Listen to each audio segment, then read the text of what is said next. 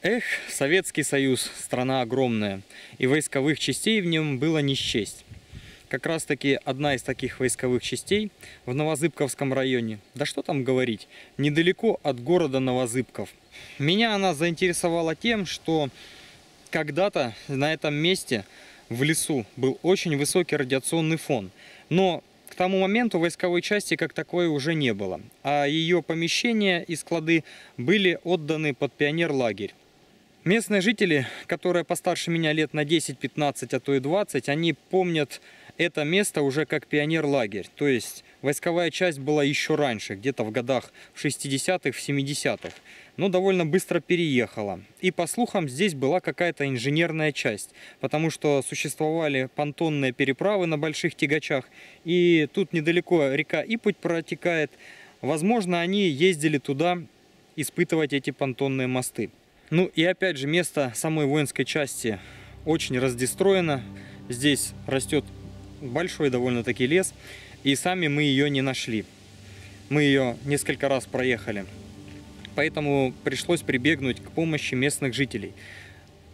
Один из них нам показал, что место воинской части вот именно здесь. Тут такой невзрачный заезд, но есть асфальт.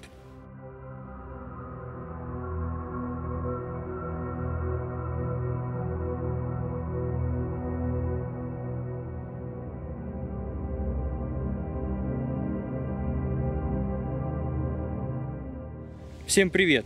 Меня зовут Сергей Белкин, и я вкратце вам покажу въезд и более подробно саму воинскую часть, пионер-лагерь.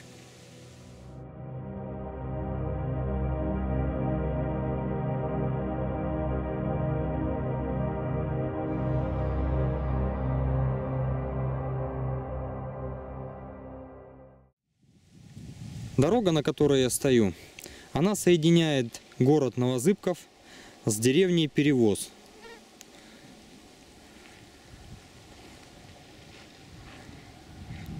И вот в ту сторону деревня Перевоз.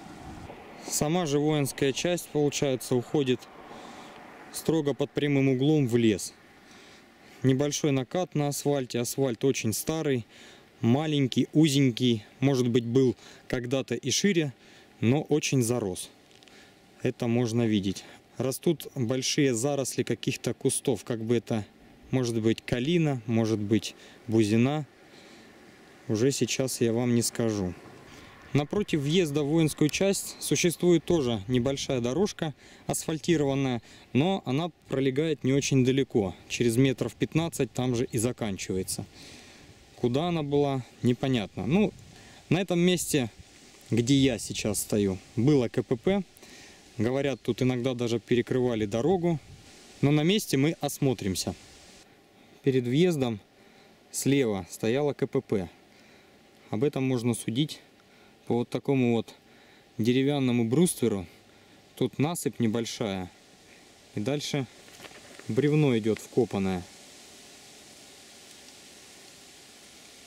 Однозначно какая-то постройка инженерная здесь была. Но это не все. Рядом есть кое-что посерьезнее.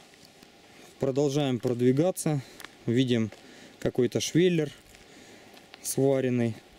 Ну, его спилили. Видимо, была какая-то арка, может быть, э, какое-то сооружение, препятствующее въезду сквозному автомобиля извне. Но тем не менее, что-то здесь было. Спилили. Спилили автогеном. Рядом может быть, находилась КПП. Потому как тут что-то есть железобетонное. Может быть, был окоп, либо перекрытая щель, или какое-нибудь другое инженерное сооружение. Кстати, я тут стою в лесу, и радиационный фон показывает мне Atom Fast что доходит до 100 микрорентген в час. Но дозиметр радиоскан покажет здесь иную, конечно, величину. Порядка 40-45, может быть 50 микрорентген в час. Здесь я замерять дозиметром радиоскан не буду. Пройду немного дальше. Потому что въезд в саму часть это не основное что нас интересует. Чуть позже поизмеряем обоими приборами.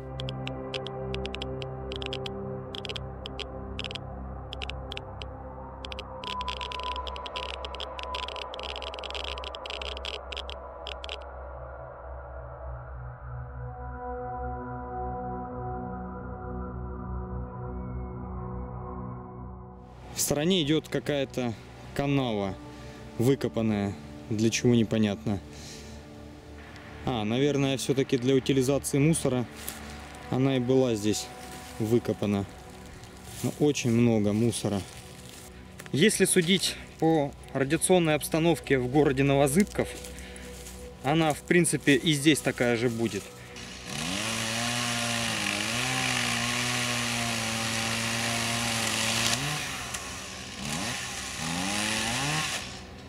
Немножко подрасчистим себе путь, чтобы можно было проехать на машине.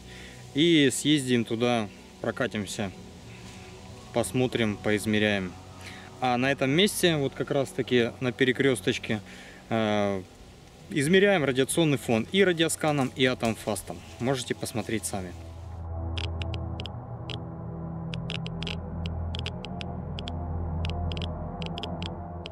Пожалуйста, на радиоскане 59 практически 60 ну вот она 60 показывает микрорентген час.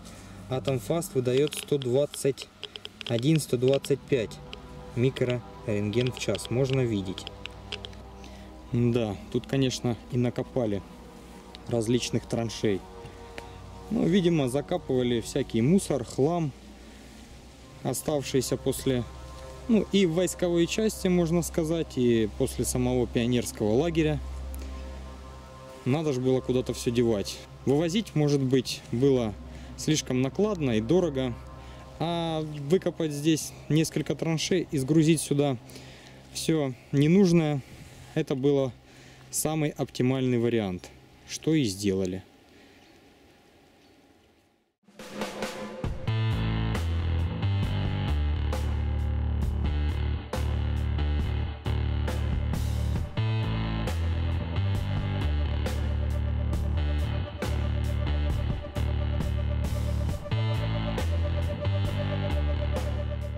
Вот мы видим фон радиационный около яблони, там где лежат яблоки уже спелые.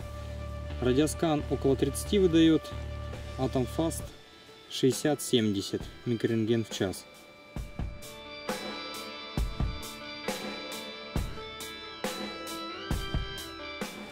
Тут какая-то то ли стенка, то ли фундамент идет вот в этой узкой очень канаве. Ну не канаве, а траншея. И даже судя по этой траншее, можно сказать, что это не для мусора было сделано. А скорее всего копали кабеля, либо цветной металл. Что могло здесь быть? От военных очень много могло что остаться. Вот и искали. Радиационный фон 38 микрорентген в час. Atom Fast выдает от 88 до 100.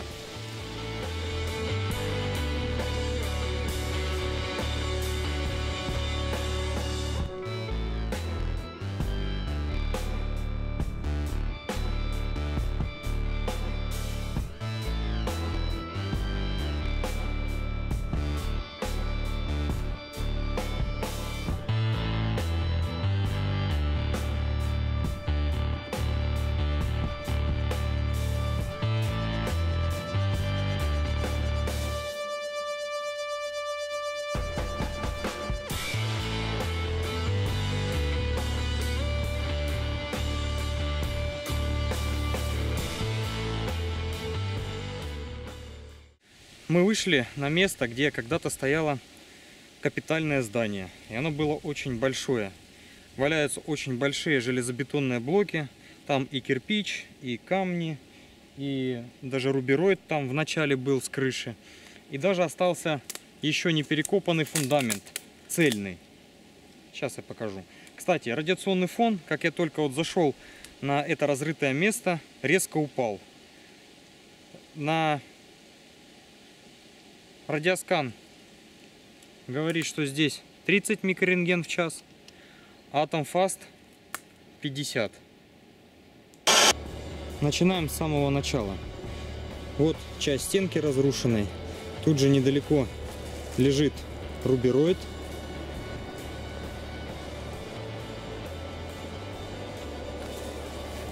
И даже, видимо, стена была поштукатурена, либо покрашена в синий цвет. Вот часть стенки находится. Ну и дальше шло само здание. Вот на этом монолите железобетонном я стоял. А здесь посмотрите, какие ямы. Ямы. И вот он, еще не разрушенный фундамент.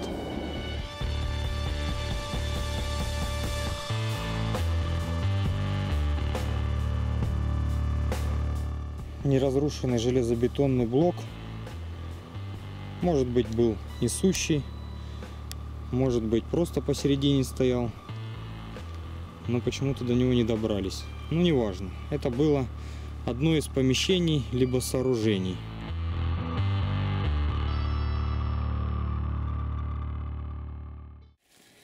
Только я вышел из этого разрушенного здания, как фон сразу подрос. Это можно видеть по графику.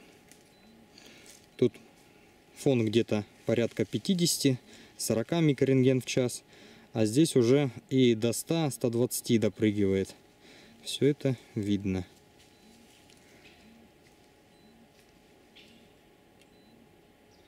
Различных мест под фундамент тут очень много. Удивительно, что все практически забрали, либо захоронили не оставили практически ни одного намека, что здесь когда-то была войсковая часть, либо пионер-лагерь. Ну и вот, мы дошли до самой маленькой, меленькой и узенькой канавки, а в ней растет вот такой вот лопух. Это, по-моему, подосиновик. Хе-хей! Но это еще не все. Вот он! Еще один подосиновичек в таком красивейшем месте, как это.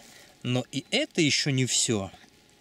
Довольно старенький подберезовик, наверное, стоит. Да, по-моему, это подберезовик. Он уже начал темнеть. Ну, по-видимому, старый, очень старый. Но и это еще не все. Тут кто-то, видимо, хотел переехать, а может быть даже и переезжал. Но здесь же растет еще один подосиновик. И очень длинная ножка у него. Атомфаст постоянно волнуется. Выдает под 100 микрорентген в час. Кусочек асфальта собранного, но не весь. Собранного, но не весь. Да, конечно, тут мега большие насыпи, кучи. Раскапывали тут знатно.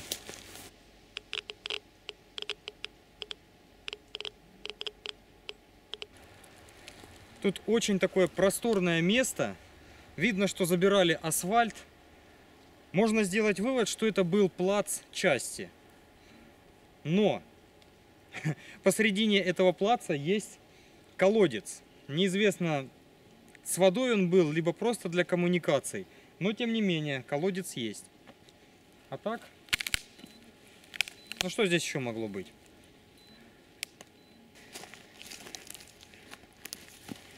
Да, не похоже, чтобы этот колодец был для воды, а скорее всего под какие-нибудь коммуникации, которые здесь же и проходили.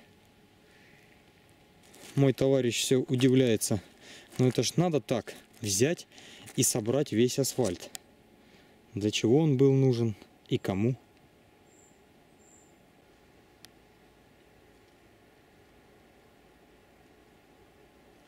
Какой-то холмик искусственный. Что-то, видимо, тут прикопали. Он довольно-таки высокий.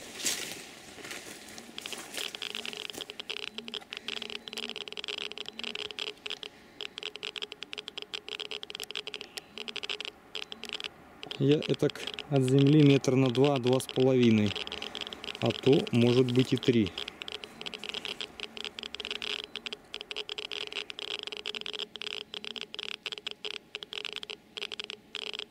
Атом Фаст все волнуется, подает тревожные звуковые сигналы и вибро. Фон здесь до 100 микрорентген в час подскакивает. Но радиоскан заподозрил и нашел всего лишь около 50. Может быть чуть-чуть и поменьше. В этом месте идет какая-то просека противопожарная. И видно, по ней ходят местные жители. Но куда и зачем, мы у них спрашивать не будем. В этом месте тоже что-то капитальное было. Выкопали, много кирпича лежит. Может быть какая-нибудь огневая точка. Ну здесь еще такой радиационный фон ничего, 126. Бывает, что и до 130, вот как сейчас, подскакивает. Радиоскан показал бы около 60-65. Я тут забрел нормально так вглубь леса, может быть от дороги где-то на метров 40-50. И в лесу увидел остатки былой роскоши. Вот тут находился матрас, пружина из-под него видна. И куча других железячек, но может быть даже и не от матраса. Я вот долго смотрел, стоял, что вот это за ерунда. Очень похожа на грибок, но она сделана из бронзы. Оказывается, это пионерский... Как же они назывались-то? Труба. Труба пионерская, точно. Вот, это раструб от пионерской трубы. Но помятый. Когда-то был блестящий. Вот тут видно, что он еще так поблескивает былой славой. Пионерский лагерь, да. После воинской части здесь был пионерский лагерь. И вот от него остался такой сувенир. О, в той стороне кто-то кричал, как будто детские крики. Ну, таких, подростков уже больше. А здесь, похоже, был какой-то бассейн миниатюрный. Может быть, он был для красоты, а может быть, реально здесь дети и купались. Вот такой он вот правильной круглой формы. Немного пройдем назад.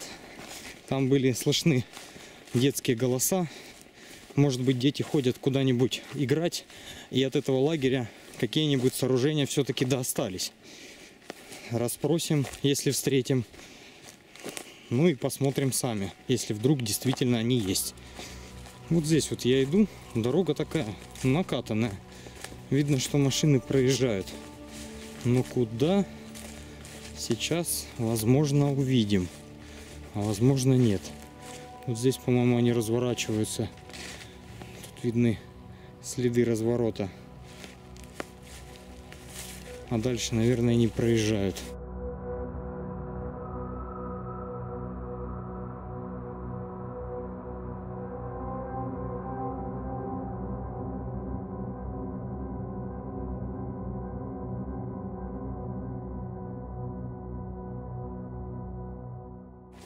Тут действительно что-то интересное есть.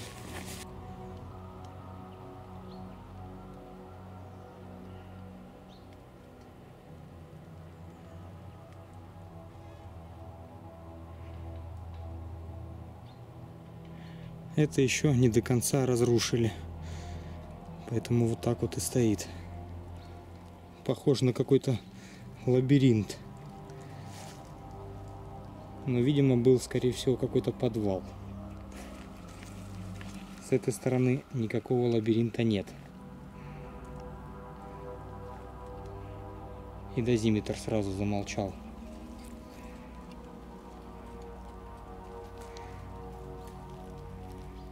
Так, ладно. Бродить по этому лесу можно еще очень долго. Никаких мы детей тут не нашли. Подростков тоже спросить было не у кого. Поэтому выдвигаемся к своей машине и будем следовать обратно.